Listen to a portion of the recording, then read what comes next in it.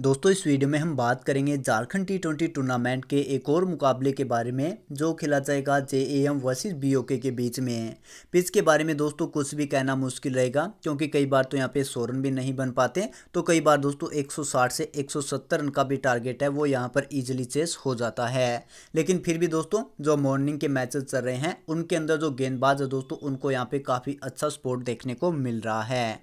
तो सबसे पहले दोस्तों, बात करेंगे जेएएम के बारे में। इस टूर्नामेंट में अब तक आठ मुकाबले खेले हैं। उसमें से पाँच मुकाबले इन्होंने विन किए हैं और तीन मुकाबले ये हार कर आए हैं। टीम की ओर से विवेक कुमार और अरविंद कुमार दोनों लगातार ओपन कर रहे हैं। विवेक का प्रदर्शन एवरेज रहा है, सत्ताईस, बयालीस और तेरह ये इनकी टॉप इनिंग है। बाकी दोस्तों पाँच का आंकड़ा भी पार नहीं कर पाए। कभी रन बनाते हैं, कभी जल्दी आउट हो रहे हैं। वहीं पर अरविंद कुमार का भी दोस्तों सेम हाल है। तिरानवे, सैंतीस और लास्ट मैच में पंद्रह ये इनकी टॉप इनिंग है। बाकी की चार पारियों में दोस्तों ये भी पाँच का आंकड़ा नहीं छू पाए। इनके बाद विशाल सिंह है दोस्तों वन डाउन बैटिंग करने वाले हैं। अब तक दोस्तों तीन हाफ़ सेंचुरी लगा चुके हैं और लास्ट मैच में तेरह रन बनाए थे। इसके अलावा आप देखोगे दोस्तों तो चार मैचेस के अंदर इन्होंने भी डक लिया है। तो दोस्तों, अगर एक बार सेट हो गए तो बड़े रन लगा सकते हैं और कई बार जल्दबाजी में अपना विकेट भी गंवा देते हैं। बैटिंग के अलावा दोस्तों, चार मैच में बॉलिंग की थी। एक मैच में दो विकेट निकाला, बाकी के तीन मैच में कोई विकेट नहीं मिला। लेकिन फिर भी दोस्तों बैटिंग काफ़ी अच्छी करते हैं तो कभी भी बड़े रन लगा सकते हैं तो एक इंपॉर्टेंट पिक रहेगी। इनके बाद राहिल खान ने टू डाउन और थ्री डाउन तक बैटिंग करेंगे। तेरह, पंद्रह नाबाद और लास्ट मैच में बारह, ये इनकी टॉप इनिंग रही है। इनके बाद अतुल सुरवर आपको नज़र आ जाएँगे, जो कि ज़्यादातर नंबर पाँच या छः पे बैटिंग करते हैं। बैटिंग में देखा जाए तो बत्तीस नाबाद और एक मैच में चौदह, ये इनकी बेस्ट इनिंग है। बाकी बैटिंग फ्लोप है। बैटिंग के अलावा दोस्तों, कभी तीन से चार तो कभी एक से दो ओवर टीम इनसे बॉलिंग करवाती है। बॉलिंग में देखोगे आप तो शुरू के चार मैच में बॉलिंग की थी, वहाँ पर दोस्तों इन्होंने छह विकेट निकाले और लास्ट के दो मैच में दो विकेट। अब तक दोस्तों ये आठ विकेट निकाल चुके हैं। तो अतुल, दोस्तों बॉलिंग में तो बिल्कुल एक अच्छी पिक है। हो सकता है बैटिंग में भी दस बारह रन बना के दे दें। इनके बाद रजनदीप सिंह नंबर छः पे बैटिंग करने वाले हैं। पहले मैच के अंदर दस और लास्ट मैच में सात रन बनाए। इनके बाद कुमार आस्तिक है लास्ट मैच में पहली बार खेले थे, सिर्फ़ नौ रन बना पाए। इनके बाद राहुल प्रसाद जो कि टीम की कैप्टनसी कर रहे हैं।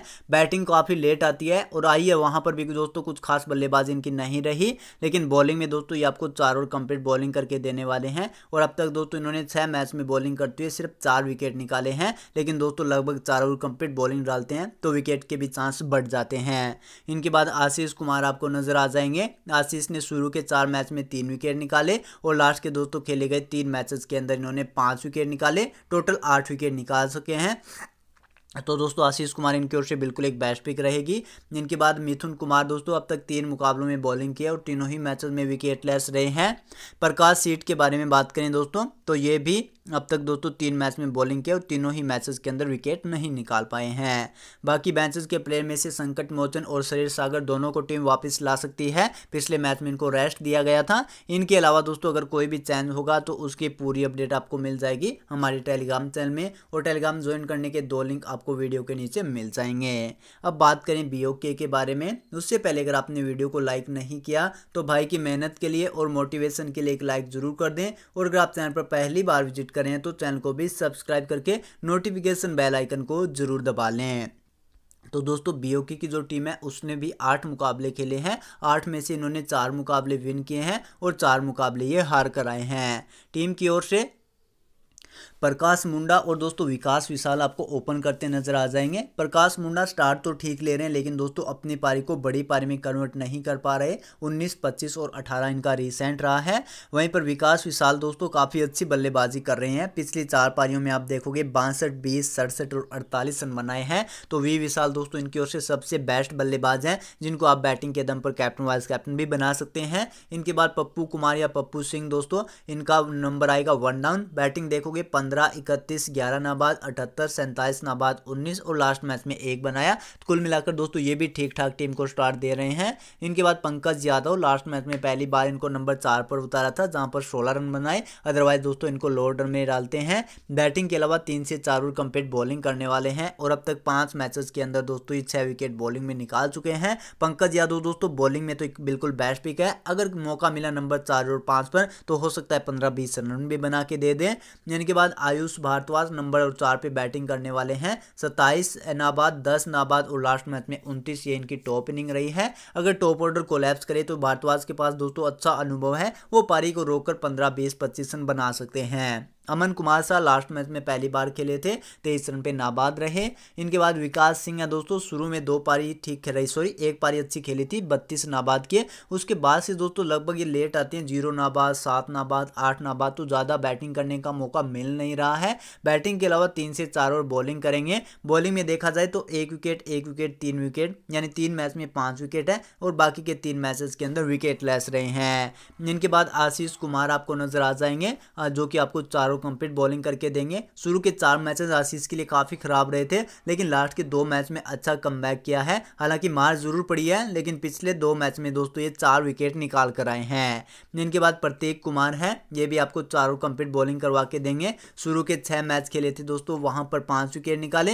लास्ट के दो मैचेस के अंदर सिर्फ़ एक विकेट ये निकाल पाए हैं। इनके बाद पी रंजन आपको नज़र आ जाएँगे, जिन्होंने दोस्तों या तो विकेट नहीं निकालते या फिर गुच्छे में निकाल हैं। दो मैच में तीन तीन विकेट निकाले, एक मैच में एक विकेट निकाला है। बाकी के पाँच मैचेस के अंदर प्रत्येक को कोई विकेट नहीं मिला हुआ। इनके बाद इफ्तिकार अहमद खान है। एवरेज प्रदर्शन है तीन मैच में बॉलिंग की है। दो मैच में एक एक करके दो विकेट है। एक मैच में कोई विकेट नहीं और हर मैच में दोस्तों इफ्तार को मार भी काफ़ी अच्छी पड़ी है। बाकी बेंचेस के प्लेयर को लेकर अगर कोई चेंज वगैरह होगा तो उसकी पूरी अपडेट आपको टेलीग्राम में मिल जाएगी और टेलीग्राम के दो लिंक वीडियो के नीचे भी आपको मिल जाएँगे। अगर लिंक वर्क ना करे तो आप टेलीग्राम में जाके भी हमें सर्च कर सकते हैं। आपको टाइप करना है W G F twenty four और सर्च करके जुड़ जाना है टेलीग्राम के अंदर। अब बात करें दोस्तों डेमो टीम के बारे में तो विकेट कीपिंग में पी कुमार है। इनके बाद यहाँ से बैटिंग के अंदर V Vishal, V Kumar, A Bhardwaj. Allrounder section में विकास सिंह, ए सुरवर और पी रंजन को ट्राई कर रहा हूँ। और बॉलिंग में दोस्तों आशीष कुमार है। इनके बाद दोस्तों दूसरे आशीष कुमार, पंकज यादव और यहाँ से